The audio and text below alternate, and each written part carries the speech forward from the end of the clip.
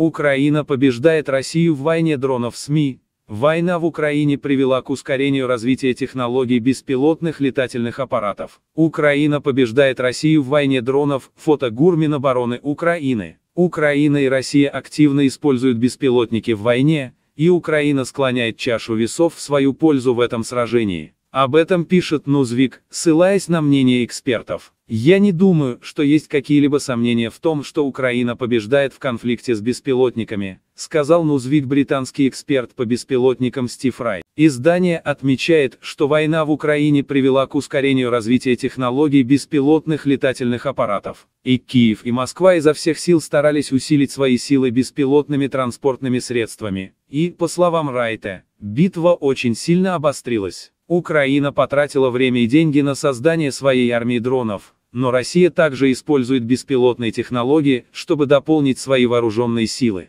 Самыми известными из российских беспилотников являются беспилотники шахт иранского производства.